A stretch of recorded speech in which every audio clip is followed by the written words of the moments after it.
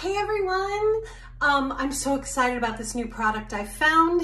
It's incredible. Um, I have really thin lips.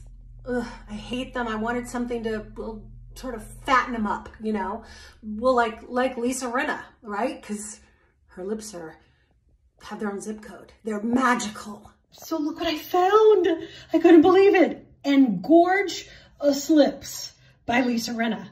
Oh my God, we're gonna see if this works or not, yeah. Okay, let's do this. Yeah, I'm so excited, I'm so excited. Okay, ready? We're gonna do it together. I'm just changing hands here. Okay, um, wow.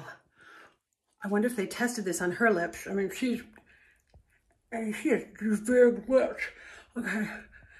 Okay, it says to wait a few minutes to see the effect.